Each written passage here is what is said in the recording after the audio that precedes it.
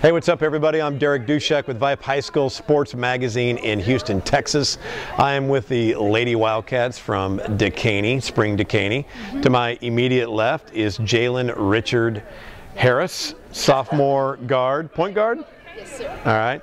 And to her left is Kayla Nevitt, senior combo guard. Yes. Since you're the senior, we'll start with you first. Let's talk uh, Dekaney basketball. What are the expectations this year? State. State? That's what we're working for. That's it? Yep. Okay. Talk about that preparation. Oh, it's hard. Um, well, we know what it, what it takes. We've been there before. Um, hard work, uh, going undefeated in district, you know, taking a day at a time, hard work and practice.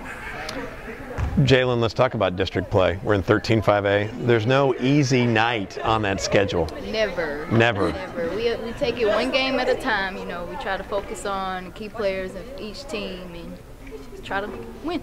You know, are there some teams that you've highlighted within district play that, yeah, I, Yeah, there's there's a couple of that I can't wait to play that game? Yeah. Who? Come on, who are they? Well, Tell I don't know them. if you want to give them these ups. But um, Klein Forest is one. Definitely look forward to playing them. What the Eagles do to you? They're just, I don't know. a It's just rival fun. school. Yeah. yeah. Yeah. We know a couple of players personally. We play with them in AAU. Yeah. So it's like, you know, it's fun, good competition. What's it mean to the both of you to be invited to the VYPE photo shoot this year?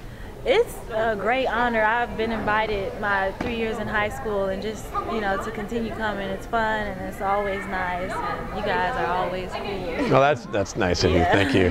So is my you're first time. first time sophomore, so we get to Yes. hopefully see you It's a new experience. two more times after this, right? Hopefully. If not, something went wrong. Yeah, something Yeah. definitely. I fell off the face of the earth. That's what happened. Um, talk about the next level for you. Where, where will you be playing basketball next year? Mississippi State. All right. How did you decide on the SEC and Mississippi State?